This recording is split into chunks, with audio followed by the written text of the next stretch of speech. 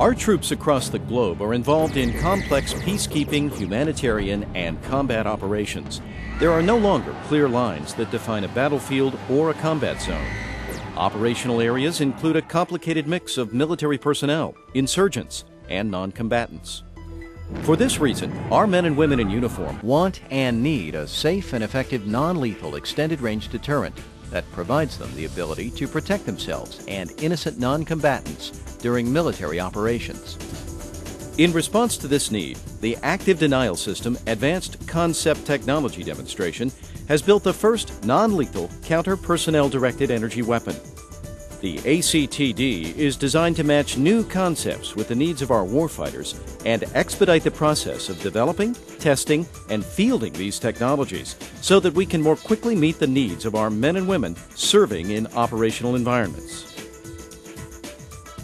ADS uses a directed beam of millimeter wave energy that penetrates about 164th of an inch into the adversary's skin. The energy is harmless the superficial heating effect is nearly instantaneous, and the adversary instinctively flees. ADS is an ideal choice for protecting members of the U.S. military and their equipment in a wide range of operations, particularly when the use of lethal force would be counterproductive.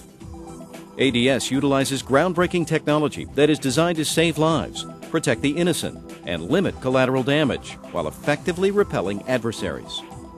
The direct and controlled non-lethal beam of ADS gives the system extraordinary potential for use in situations where insurgents hide among non-combatants. ADS will give our troops a greater capability to determine the intent of individuals before they reach a threatening range. The technology was developed by the Air Force Research Laboratory and under the auspices of the Deputy Undersecretary of Defense for Advanced Systems and Concepts and the DoD's Joint Non-Lethal Weapons Directorate. ADS will provide our men and women on the battlefield an extraordinary new capability. For the first time, they will have a non-lethal system with a range greater than that of traditional small arms weapons. It will give them the flexibility they need on today's complex battlefield. ADS will minimize fatalities by providing our forces a non-lethal option between shouting and shooting. ADS and directed energy are the future of non-lethal weapons and represent a new capability that our warfighters want and need to succeed in today's missions.